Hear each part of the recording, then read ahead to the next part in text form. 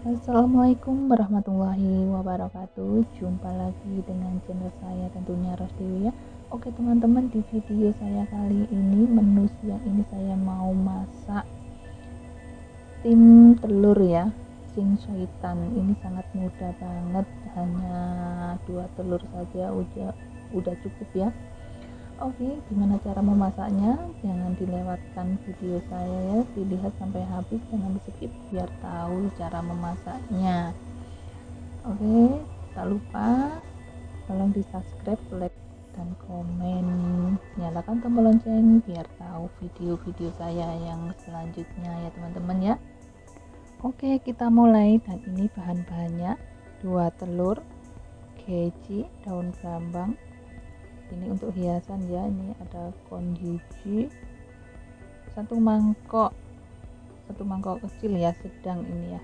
Kecil sih kalau di sini kecil kaitong bisa diganti juga air ya nggak apa-apa dikasih masako gitu. Oke yuk kita mulai memasaknya. Pertama kita kocok dulu telurnya ya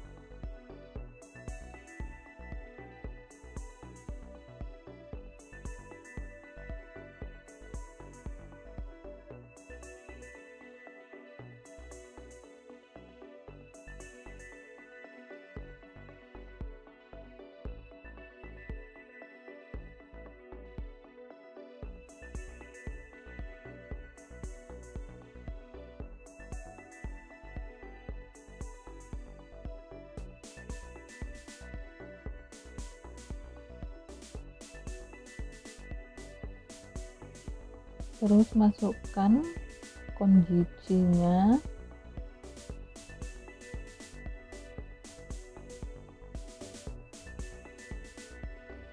kaitong dimasukkan juga ya. Ini bisa diganti dengan air. Air dikasih kaifon kayak gitu kasih masako ya. Cukupnya menurut selera anda. Diaduk-aduk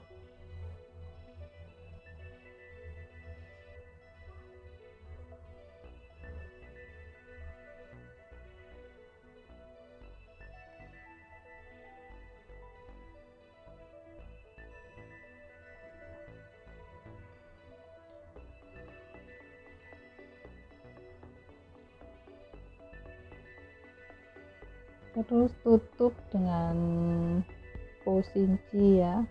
Plastik ini biar enggak kena air biar kelihatan cantik nanti telurnya ya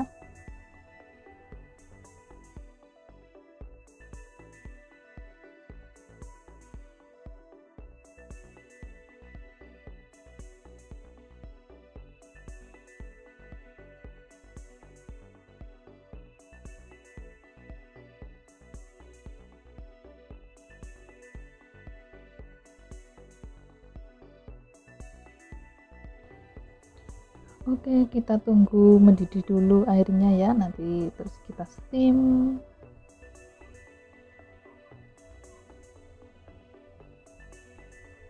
Nah, udah mendidih ya, teman-teman. Kita masukkan telurnya. Dan ini di steam selama 10 menit ya, teman-teman ya. 10 menit kita tunggu 10 menit lagi.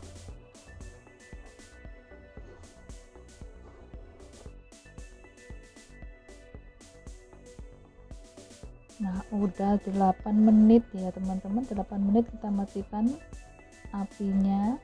Kita buka konsisinya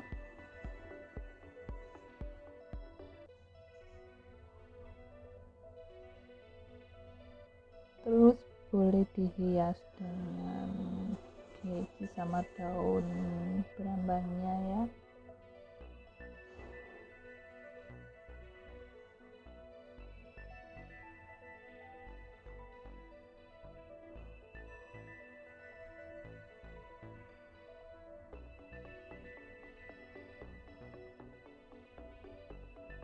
Dihias kayak gini biar cantik menarik gitu ya jadinya untuk makannya itu ada selera tersendiri.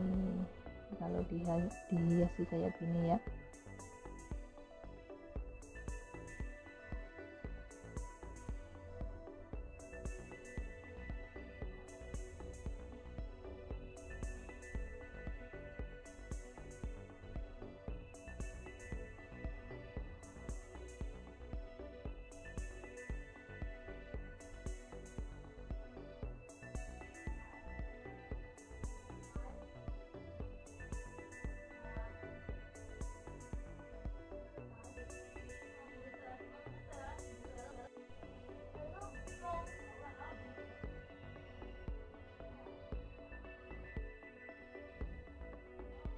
nah kan cantik.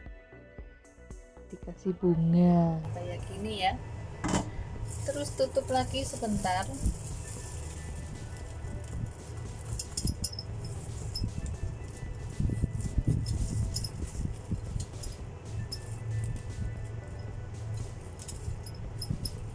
Kasusnya ditutup lagi ya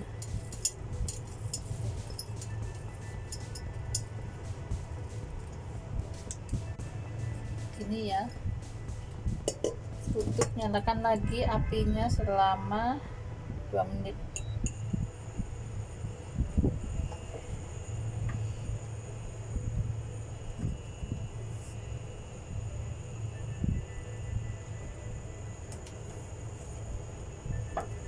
Tunggu 2 menit lagi ya. Nah udah 2 menit kita matikan apinya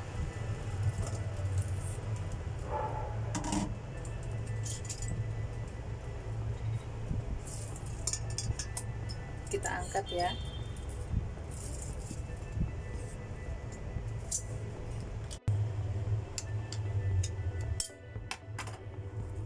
Kita buka. Nah udah cantik guys. Udah matang ya.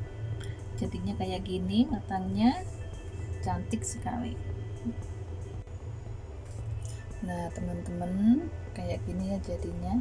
Udah matang cantik ya Oke, teman-teman, cukup sampai di sini dulu video saya nantikan di video Dewi selanjutnya ya. Ya jangan lupa di subscribe, like, serta komen ya. Tak lupa bila ada salah kata Dewi minta maaf. Wassalamualaikum warahmatullahi wabarakatuh. Bye bye.